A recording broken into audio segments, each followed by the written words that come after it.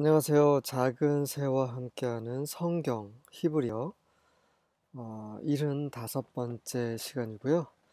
오늘은 샬롬이라는 누구나 다 알지만 네, 이 히브리어를 모르는 분들 모두 모르시는 그러한 샬롬의 내재적인 의미에 대해서 함께 살펴보도록 하겠습니다.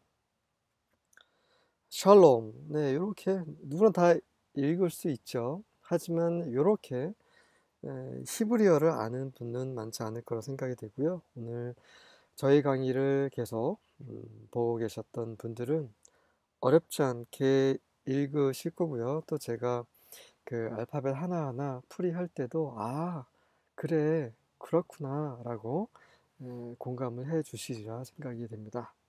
이 샬롬은 음, 알파벳 4개로 구성이 되어 있죠. 네. 쉰입니다. 음. 다음이 라멧이고요. 세 번째가 바브. 마지막으로 맴.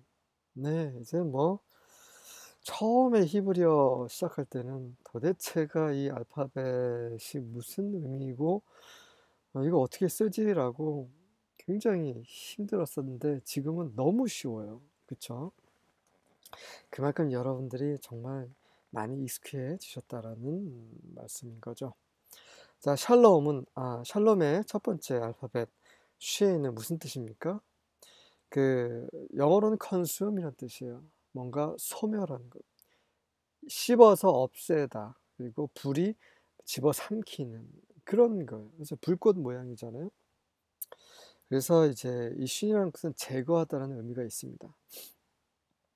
이 샬롬, 평화, 안녕이라는 이 말과 제거하다는 말이 무슨 어, 연관성이 있을까요? 계속 보겠습니다. 이 라멧은 그 지팡이죠. 모세의 지팡이, 권위를 상징합니다. 그래서 라멧 하면 뭐 가르키다라는 말도 되고 가르치다라는 말도 되고요. 음, 권위를 상징합니다. 이거 알파벳 초, 초기 알파벳 공부하시면서 다 말씀을 드렸습니다. 바브는 이제 못이죠. 그래서 못은 연결하는 것입니다. 기억나시죠? 그리고 맴은 뭐, 무엇입니까? 물이죠, 물. 물은 두 가지의 대조적인 의미가 있어요. 하나는 그 생명입니다, 생명. 또 하나는 사망이죠. 노아 홍수는 사망의 물이었어요. 그렇죠? 우리가 마시는 물은 예, 생명을 주는 물이죠.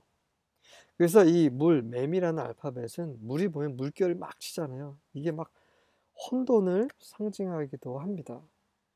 그래서 창세기 1장 2절에 어, 땅이 아, 흑암이 1장 1절에 태초에 하나님이 천지를 창조하시니라 땅이 혼돈하고 공허하며 흑암이 깊음이 위에 있고 하나님의 신이 수면 위 운행하시니라. 그래서 어, 땅에 혼돈이 있다라는 말은 무엇입니까? 그 물밖에 없었기 때문에 혼돈이 있는 거죠. 그래서 맴은 그 혼돈을 가리키는 알파벳이기도 합니다. 자, 자세히 이제 들여다보니 어떤 말입니까? 권위를 제거하는 거예요. 어떤 권위입니까? 연결하는 권위를 제거하는 것입니다. 혼돈을 연결하는 권위를 제거하는 것이 샬롬이라는 거죠. 혼돈은 사망입니다. 사망. 사망을 연결하다라는 것은 사망을 초래하다는 거죠. 사망을 초래하는 권위. 권위는 어둠의 세력, 죄를 상징하는 거죠. 사망을 초래하는 죄를 쉰, 제거해야 참된 샬롬, 평강이 있는 거죠. 예를 들면 어떤 사람과 정말 평강을 가지고 평화롭게 지내고 싶어요. 그러면 그 사람의 잘못을 덮어주고 그래 그럴 수도 있지 뭐 좋은 게 좋은 거라고 뭐 나도 그런데 너도 그럴 수 있어 이게 아니라는 것입니다. 상대방과 참된 평강, 평화를 누리기 위해서는 두 사람 간에 막힌 담을 허물어 버려야 되는 거예요. 도둑질을 했어요. 그걸 알아요. 하지만 네가 도둑질 했지라고 얘기하면 더 관계가 악화될 것 같아. 그래서 아예 모른 척 함으로 서로 이제 평강을 유지한다. 그거는 진정한 평강이 아니죠. 진정한 평화가 아닙니다. 여전히 거리낌이 있음에도 불구하고 그거를 예, 언급하지 않는 거 이거는 참된 평강이 아니에요. 하나님과 사람 사이에 뭐가 있습니까? 죄라는 벽이 있죠.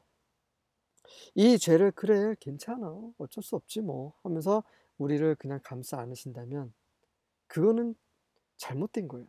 하나님은 거룩하시고요. 하나님은 빛이십니다. 이 죄는 완전히 더럽고 악하고 어두운 거죠. 사망입니다. 생명신 하나님과 사망, 빛이신 하나님과 어둠인 죄. 거룩하신 하나님과 더러운 죄가 함께 할 수가 없는 거예요. 그래서 이 하나님과 사람 사이에 막힌 그 담, 원수, 이 죄, 이 세력을 없애야지만 참된 평화가 있다라는 거죠.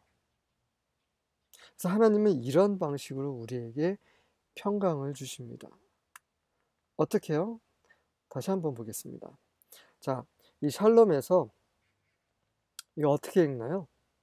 예. 슐렘이죠, 슐렘. 히릭, 어, 모음은 이제 히릭하고 제레가 있죠.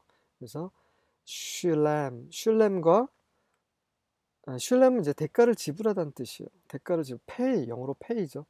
지불하다, 돈을 지불하다, 대가를 지불하다, 슐렘. 그리고 이 슐렘과 바브, 바브는 뭐라고 했습니까? 연결하다, 못이었죠. 바로 십자가 못을 상징하는 거죠.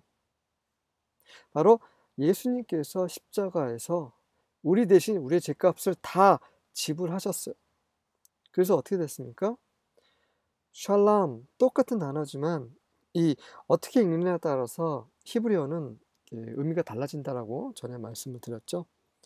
이 샬람이라고 읽게 되면 이것은 다 이루다 완성하다는 뜻입니다. 다시 말해서 예수님께서 십자가에서 우리 대신 우리의 죄값을 다 지불하심으로 우리를 위한 하나님과 죄인 간의 참된 평화를 다 이루셨다는 거죠. 이게 샬롬 안에 들어가 있는 그러한 아주 내재적 이고 깊은 의미입니다. 바로 구속사가 들어가 있는 단어라는 거죠. 자, 이렇게 해서 누구나 알고 있다라고 생각했던 그 샬롬이 굉장히 이런 예수님의 그런 보혈, 그분의 십자가 사역, 하나님의 사랑, 하나님의 의, 하나님의 거룩함, 이런 모든 것들이 다 예, 포함되어 있는 그런 단어였다라는 거. 정말 대단하지 않습니까? 그래서 우리는 히브리어를 배워야 하는 것이죠. 이것이 히브리어를 배워야 하는 목적입니다.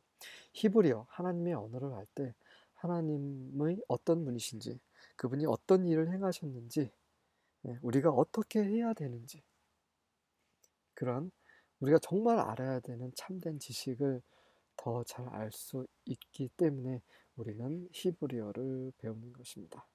수고하셨습니다.